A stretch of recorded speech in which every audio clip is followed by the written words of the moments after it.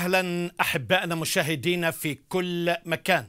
ماذا يحدث عندما تسيء أو يسيء أحدهم إلى المسيح؟ خليني في بداية هذه الحلقة أستعرض بعض الأمور.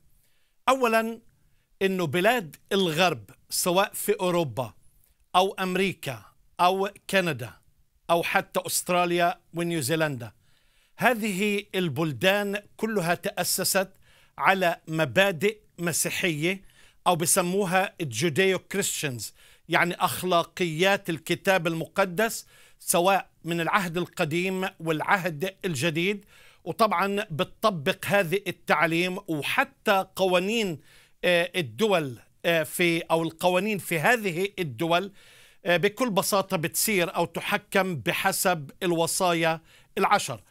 شيء ثاني إنه في هذه البلدان في فصل بين الدين والدولة. يعني أغلب هذه البلدان هي بلاد علمانية. العلماني فاذا هو شخص لا ينتمي لدين أو يحاول أن يركز على ديانة أو طائفة محددة مع إنه في هذه البلاد في كثير فيهم من المؤمنين المسيحيين طبعا لأنه تأسست على مبادئ الكتاب المقدس فهذه القوانين اللي بتحكم هذه الدول.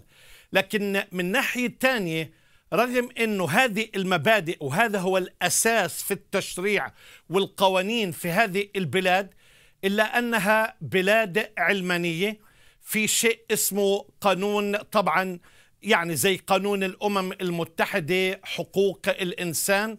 وحقوق الإنسان في مواصفات وفي خصائص اللي بتتم وكل الدول المفروض تمشي وتتبع هذه القوانين في هذا الموضوع.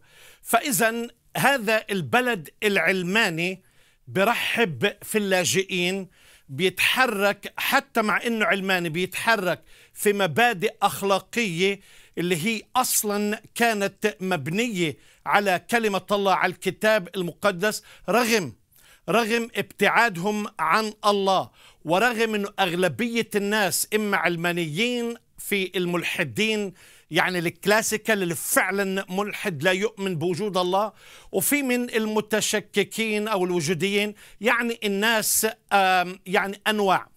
فلما برحبوا في كل الناس في اللاجئين بحاولوا يطبقوا هذه المبادئ في احترام لحرية التعبير حرية الديانة حرية الرأي والإنسان يختار أن يعبد ما يريد أن يعبد. وإذا كان اختيار العباده أو التعبير عن الحرية أو التعبير عن الرأي يناقض القانون أو يتعدى على القانون أو يحاول أن يفرض نفسه ضد القانون فطبعا يمكن بيكون في نوع من المسايرة والتهادن وهذا اللي عم بيصير في هذه الدول لئلا نعثر ولئلا يكون في إشي اسمه هيت كرايم يعني جرائم الكراهية ولا الازدراء بالأديان مع أنه هذا إصطلاح كبير كبير كبير آه يعني تطبيقه مش بالسهولة اللي إحنا بنتكلم فيها.